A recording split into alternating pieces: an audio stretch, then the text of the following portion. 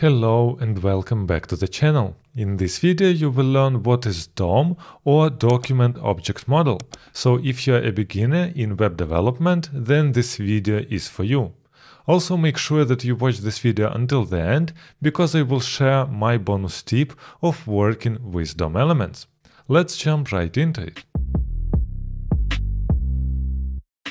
And a lot of people think that DOM is something scary, and actually you can get this question really often on interviews like what is DOM, how it is working, and so on. Actually, DOM is super simple, so DOM is the representation of our web page, which actually means every single page in internet has DOM, and it is built for us automatically. Let's check on the example. Actually here I have an empty index.html page and inside we can write some styles. So let's write super small example of index.html page. So normally we're writing here HTML tag, then inside we have our head, then we close here our head, then we have after head body. Let's close here body and inside we can write for example h1 tag and here we write for example DOM. Now inside head we can for example set a title of the page. So here I am adding title tag and here we can write what is DOM. So actually we wrote a markup for our page.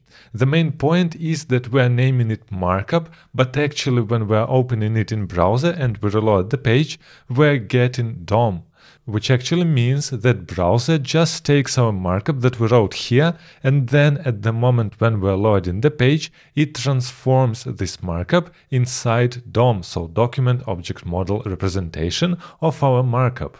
So actually DOM is just a document that browser builds in order to understand and store our markup correctly. Now the question is why it is called document object model, why it is so complicated. So we already know document is the representation of our markup. The next part that we have here is our tags. So actually tags for browser is just objects inside these documents. And this representation, this nesting that we're writing here, like for example HTML head title, this is our model, which actually means that model is the representation of our tags and their nesting inside our document. This is why it is document object model. And actually, to make things even more complicated, we have one more naming of the same thing. So actually here we have our tags, and now we know that inside our document they are calling objects. But they are also being called nodes. So our tags, then objects of the document and nodes are exactly the same thing. The next important point is that we have different types of our nodes or document objects. For example, when we are writing just our elements like head, title, body, h1, this is just elements, so node elements. But we also have node text. For example, this DOM text is actually a node. This is text node because we are storing inside text. Also, there is a type comment node, which means we're storing inside comments. And actually, when we open the browser and we can open here with inspect developer tools, there is our list of elements. So I can make it bigger. As you can see, this is our markup. We have here HTML, then head, here is body. We can open here and see our markup. But the point is that Chrome simplifies for us markup. This is why here we simply see the list of tags like it was in our editor, so actually we don't see the nodes like they are inside DOM.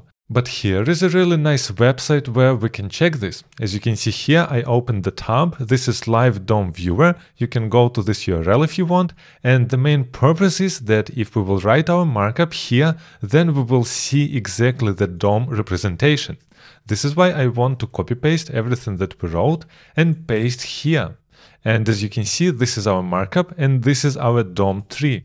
As you can see here, we have first HTML head, and then here you can see that we have node text, because this hash means that this is a node.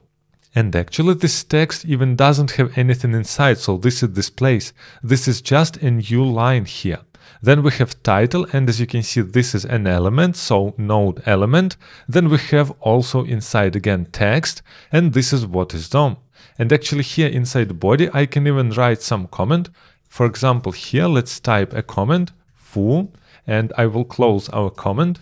And now, as you can see, after h1 tag, we have here a node comment, which actually means this is the exact representation of our DOM tree, how it is functioning inside browser.